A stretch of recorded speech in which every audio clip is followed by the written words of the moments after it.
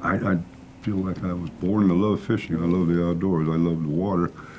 Uh, my earliest memories are being on the water with family, watching my, my dad, my uncles, and watching other people do it. I wanted to do it, and I, it just captured me, and uh, it just wouldn't, it wouldn't let me go. I, I couldn't give you a, an explanation of why that happened or even how it happened. It was just, it was just there. My name's René Harrop, and I live in St. Anthony, Idaho. I'm a fly tyer, and uh, I do a little bit of riding, but mostly I'm a I'm a fly fisherman. The thing about the Henry's Fork is it has never, it has never failed to, to just bring its own intrigue to, to me. And it reaches way, way deep inside my, you know, my soul, I guess, because it's one of the most difficult things I can try to explain is my feelings for that river.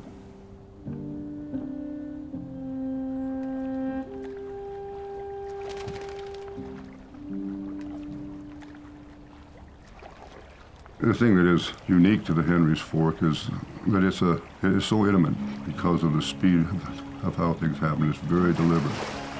Uh, the mobility that we have in that river takes away the requirement for a lot of the things that we associate with really fine performance or great performance in, in any tackle. The end, the end result is one thing, and it's placing that fly exactly where it needs to be. It's all about precision. Everything is about precision. From the smoothness in the guides to its response to the tip, I can make those casts. So the fly line really is what delivers that, that fly, many times very small fly, uh, delivering it to precise place on the water that is going to be accurate enough for that, that trout to take it. What Airflo represents to me is a group of very, very committed, some of the best fly fishermen in the world that I've ever met. I, I fish that, that line because I love the people behind it.